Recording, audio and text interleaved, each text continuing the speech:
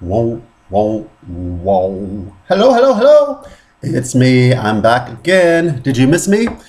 Oh gosh, it's been two and a half months since I recorded a full frontal, and that's a really, really long time. Um, as you probably figured, I needed a break. I just needed to step away from music for a little bit and clear my head.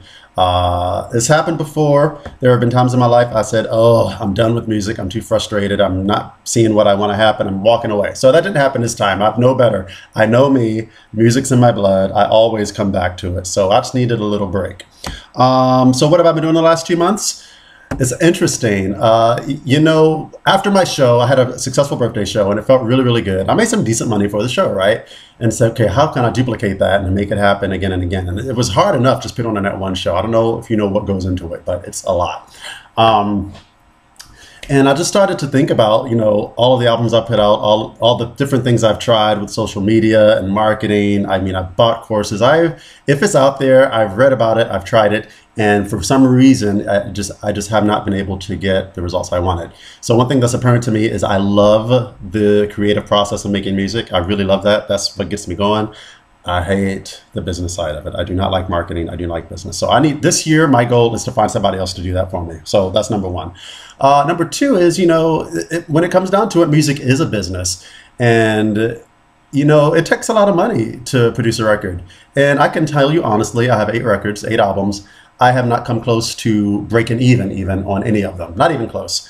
Uh, so it's just been a losing business again and again and again and again. And I'm like, that's just stupid, right? To keep on doing the same thing. So I just, I, I needed time to uh, step away from that and figure out what the hell I'm doing.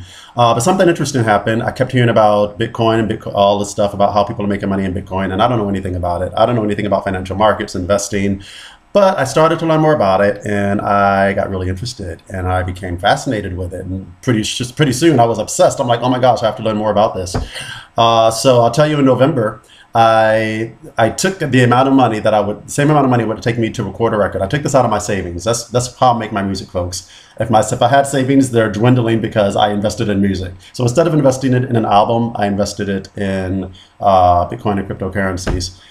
And what happened was after four weeks, that same amount of money that I would, would have made a record with, I doubled it, which pretty much means I made more money in a month than I made in the last seven years making music.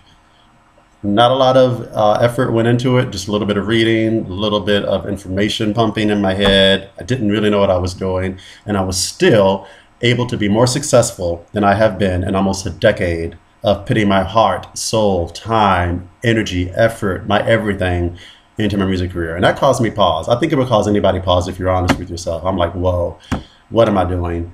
Um, so maybe I just need to come at music from a different perspective. I obviously I don't like the business part of it, and obviously I'm not good at it. So hey, maybe if I can make enough money through some other means and afford to live comfortably, uh, then I could just make music just for the sheer joy of it. And I think that's what I'm kind of I'm kind of going towards. I need to stop throwing money uh, into a into a losing business. So I don't know what that means for the future right now. As you know, I have thousands of songs that I've written. I have so much content I want to put out, and I feel like I need to put out. Uh, but I'm just at a, I'm at a I'm at a crossroads. I'm at a juncture. I don't know. But the creativity is not going to stop. In fact, I'm performing this weekend at a fundraiser. Looking really forward to that. My first performance of 2018, and it's going to be a brand new song that nobody's heard before. Well, one person. That's you, Cameron. Uh, so anyway, happy New Year. Hope you had a good holiday. I'm still here. I know I haven't put out any content, and I apologize. I'm going to uh, do my best to get back on track and put out the, some more regular content for those of you who watch all four of you, all five of you. I don't know who's out there. Uh, so leave me a message, say hi, say you're following, or send it to somebody else. That's how this all happens. It's always word, all with word of mouth. Um, I can tell you that after my last show, I, I felt very invigorated because uh, the, I had such a positive response. So thank you everybody that came after that, and hopefully there will be more in 2018. Okay, this is going longer than I wanted. Just wanted to say I'm back. All right, until next time.